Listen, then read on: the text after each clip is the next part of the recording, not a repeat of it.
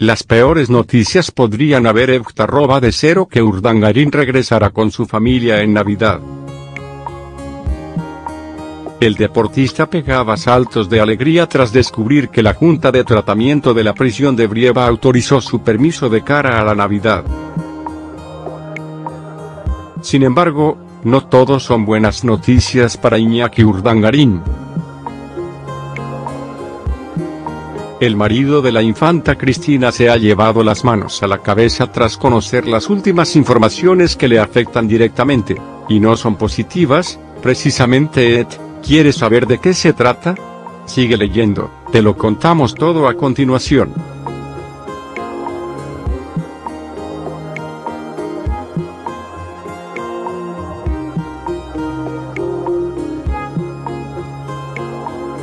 Hace dos semanas, Urdangarín cumplió la cuarta parte de su condena de cinco años y diez meses de prisión por su implicación en el caso Noos.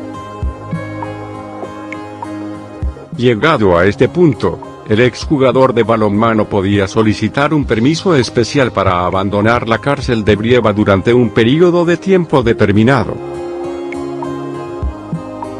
Aunque en principio pidió una semana, la Junta de Tratamiento de la Prisión tan solo ha concedido cuatro días de libertad al marido de doña Cristina de Borbón, una decisión que ha de ser ratificada por un juez.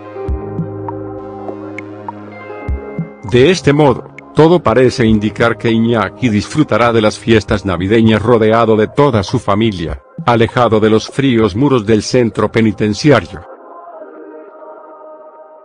Sin duda, una buena noticia que tanto él como sus seres queridos han recibido con entusiasmo y alegría.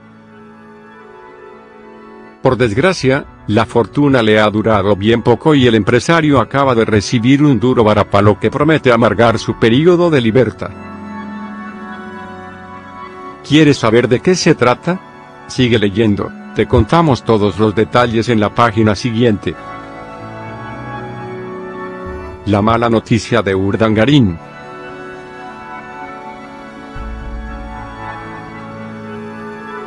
El deportista parece no tener suficiente con el permiso de cuatro días que la Junta de Tratamiento de la Prisión de Brieva le ha concedido.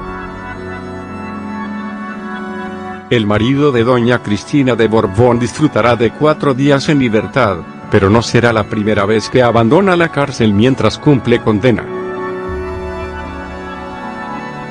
Desde hace unos cuantos meses, realiza labores de voluntariado en el hogar Don Orione, al que acude dos días a la semana durante ocho horas, los martes y los jueves. Por lo visto, Urdangarín disfruta tanto de su trabajo en el centro que ha solicitado ampliar a tres el número de veces que se le permite acudir a la institución. Por desgracia para él, se ha topado con la rotunda negativa de la Fiscalía. De momento, tendrá que conformarse con lo que tiene, una mala noticia que de seguro ha amargado el dulce momento que vive de cara a su próxima Navidad en familia. Pero no todo van a ser caras largas.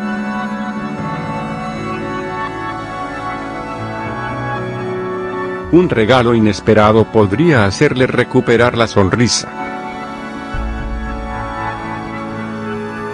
El regalo de Reyes de Urdangarín.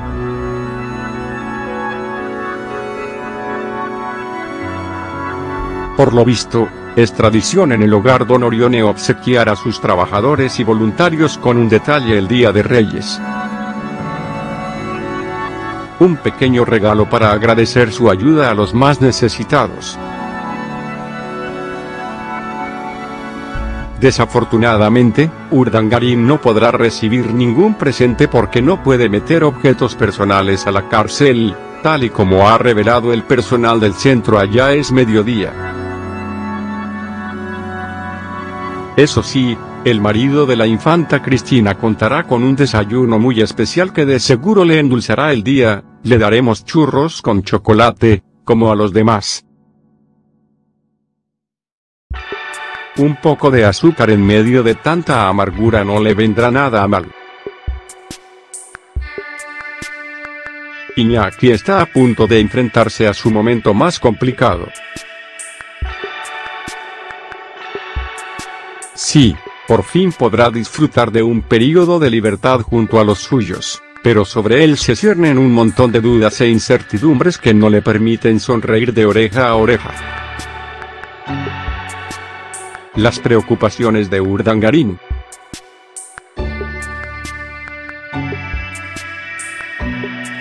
De momento, Iñaki ni siquiera sabe qué días le consideran durante su permiso. Se puede intuir que se le permitirá pasar la Nochebuena o la Nochevieja junto a los suyos, pero no hay nada seguro. Además, este año, esas fechas tan marcadas caen en martes, coincidiendo con uno de los días que debe prestar servicio de voluntariado en el hogar Don Orione. ¿Tendrá que trabajar el marido de doña Cristina durante su periodo de libertad? De momento, todos son incógnitas que se resolverán más pronto que tarde. Tampoco conocemos dónde dormirá el deportista cuando por fin salga de la cárcel de Brieva, aunque algunos expertos en realeza consideran que lo más probable es que se acerque hasta Vitoria, donde reside su madre. Lo que parece seguro es que se encontrará con las puertas de zarzuela cerradas a cal y canto, un problema para la infanta, que deberá elegir dónde pasar la Navidad, junto a su marido en palacio. La decisión de la infanta Cristina.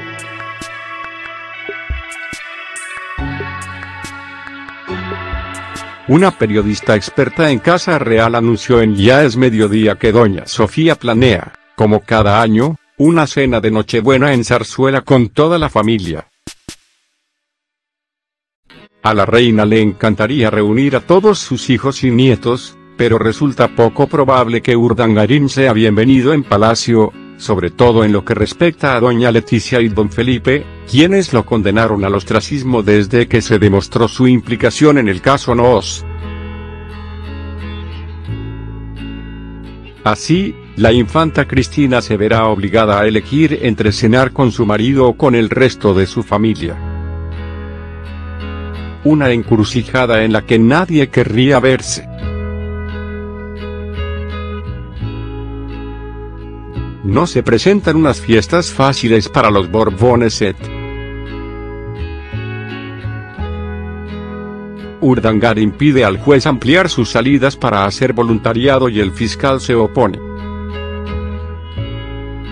Iñaki Urdangarín, esposo de la infanta Cristina y cuñado del rey, ha solicitado al juez de vigilancia penitenciaria 1 de Castilla y León, Florencio de Marcos, que le amplíe de 2 a 3 el número de salidas semanales de prisión para colaborar como voluntario en una ONG.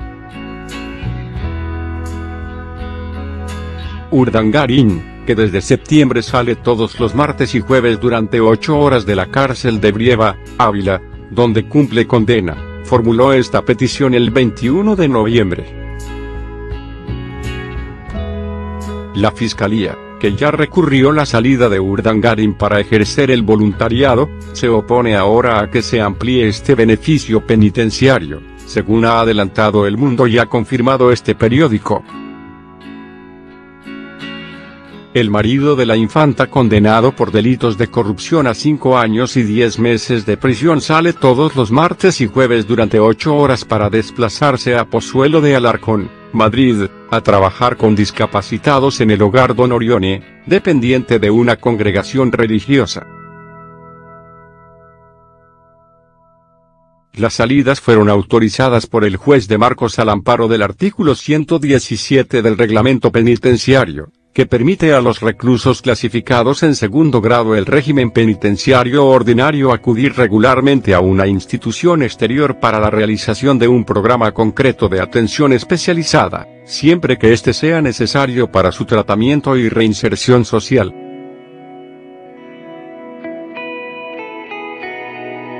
Esta medida se reserva a reclusos con baja peligrosidad social y en los que no se adviertan riesgos de quebrantamiento de condena. Este artículo se ha aplicado en los seis primeros meses de 2019 a 263 reclusos, según fuentes penitenciarias. Aquella decisión fue tomada en contra del criterio tanto de la Junta de Tratamiento órgano técnico de la cárcel encargado de proponer sobre permisos y la situación penitenciaria de los reclusos como de la Fiscalía, que consideraban que el riesgo de reincidencia de Urdangarin era entonces medio alto dado lo elevado de la pena y el tipo de delito. La Fiscalía presentó un recurso, que no prosperó, para que se revocase la autorización al considerar que el programa de voluntariado no cumplía los requisitos que fija el artículo 117 del régimen penitenciario esgrimido por el juez para permitir las salidas.